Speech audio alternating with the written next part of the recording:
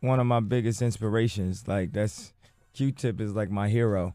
Like uh, that Midnight Marauders, Electric Relaxation, uh, um, Low End Theory. A lot of the melodies and uh, that particularly Q-Tip, the type of chords they would sample, Mm-hmm. and that Pete Rock would sample, or like that, or that was sampled on uh 93 Till Infinity, Yeah. which I all, I felt was influenced by Tribe mostly, was you know what I was going for uh, when I did the college dropout, or when I always felt like I was at my highest level was when I was closest to like Tribe records. So a record like Heard 'Em Say was an accomplishment for me to have something that even sounded close to what they did. You know. Ever since I gave Tip the Slum Village tape, it's been a dream come true for me. You know, like I said, I, I never even expected him to call. But when Tip called, you know, like I said, my, my heart s- stopped because, like I said, I, I want, I'm still a Tribe Called Quest die hard fan. You know, I still want to hear another Tribe Called Quest album. Beats Rhymes and Life was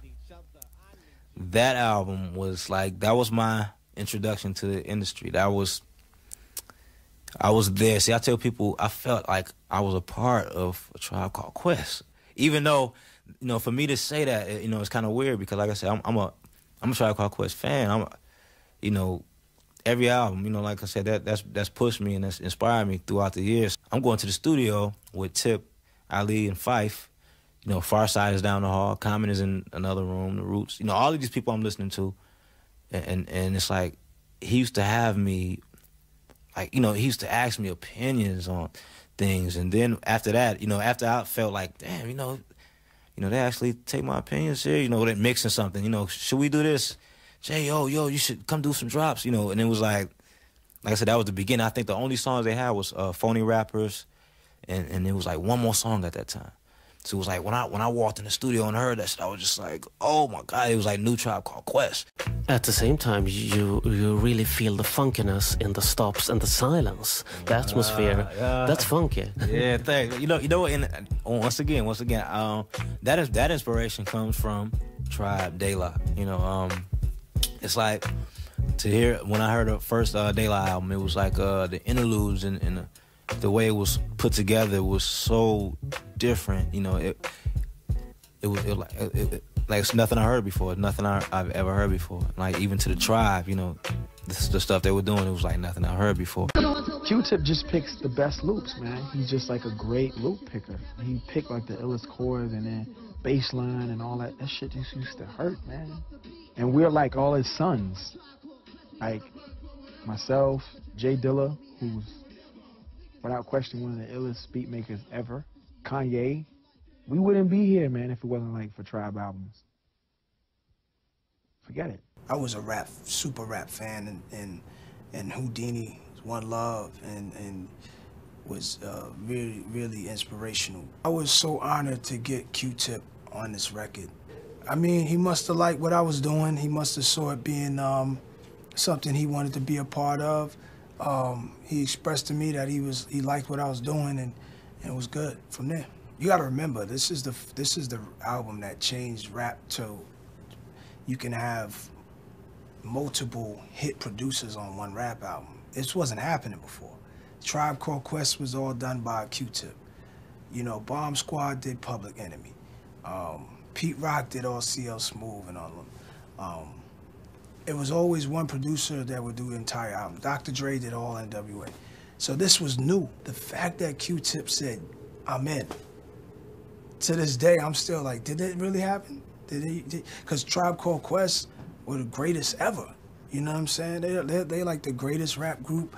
I mean, you have Run DMCs and all of this, but you know, Tribe is up there with the greatest rap groups of all time. And for him to to, to come in and, and give me a sound that sounded that, that represented like what I needed and and um, but it's some of the it's the, the the jazz soul that Tribe.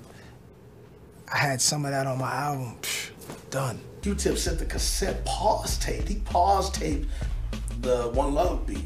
So it was going. boom, boom, So we were like, what the fuck? so that's why I changed represent. My represent was a baseline version. I changed it to the boom, boom, boom, because no way you outdoing me with that shit. Mm. Me and Hav first met, and we started doing our demo tape. and we would go get the address of back albums and go stand outside whatever company. We would stand outside Mass Appeal, just stand outside with our headphones and our Walkman, you know what I mean? And wait for celebrities or somebody that we recognize to come out. Like, yo, could you listen to our shit? trying to get a record deal. Nobody would stop for us. Everybody's like, I'm on, I ain't got time for that shit. Like walking past us, shitting on us. Q-Tip came out the building. We asked him to listen to us, and he stopped. He was like, all right. He listened to our shit. He was like, yo, where y'all from? He was from Queens, yo. And he was like, yo, I like y'all. He was like, come and come in the office. I'm gonna introduce y'all to some people. Man, he introduced us to Chris Lighty that day and bunch of people in the um, Rush Associated labels and Def Jam office.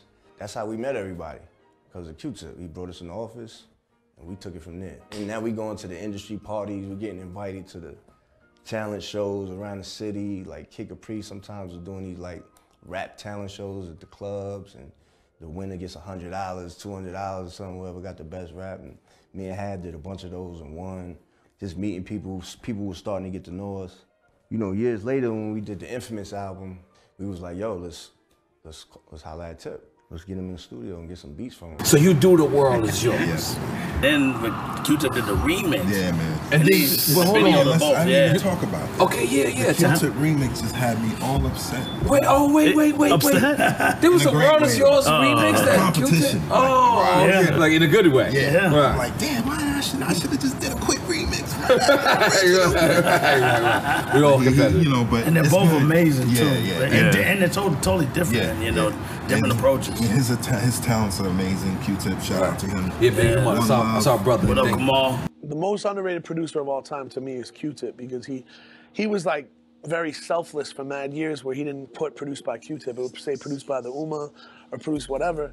And people don't put him on the, you know, I hear Dre, Primo, and all these people in every conversation, but Q-Tip needs to be right there if, in your top three, if not top five, because the Tribe album, the first couple Tribe albums, and then, you know, uh, Crooklyn Dodgers, One Love, Nas, Apache, Gangsta Bitch. Like these are some of the best beats of all time.